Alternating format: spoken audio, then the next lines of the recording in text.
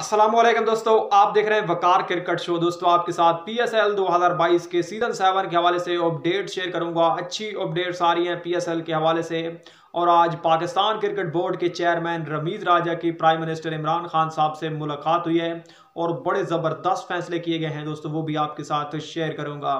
दोस्तों पीएसएल 2022 के season seven की तैयारियाँ जोरों शोर से जारी हैं और आज पीएसएल का जो प्रोमो था, उसको दोस्तों रिलीज़ कर दिया गया। उसके अंदर तमाम पीएसएल की जो टीमों के कैप्टन हैं, वो एक्शन में नज़र आए। बाबर आज़म, मोहम्मद रिजवान, शाहीन, शाफरीदी, शादाब खान, वहाब रियाज और सरफराज अहमद। दोस्तों पीएसएल की तो तैयारियाँ ज़ोर शोर से जारी है, लेकिन दूसरी तरफ़ आज बड़ा ज़बरदस्त फैसला किया गया। पीसीबी चेयरमैन और प्राइम मिनिस्टर इमरान खान साहब की जानब से कि इस्लामाबाद के अंदर दोस्तों, एक बड़ा जो है स्टेडियम बनाया जा रहा है 2025 से पहले पहले।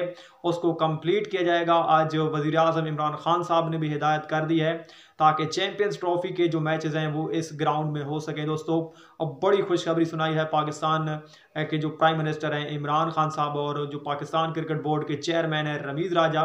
दोस्तों, उन्होंने भी ऑफ़र की है वजी अजम इमरान खान साहब को कि आप पीएसएल की जो ओपनिंग सेरेमनी होगी, वो देखने के लिए ज़रूर आएँ।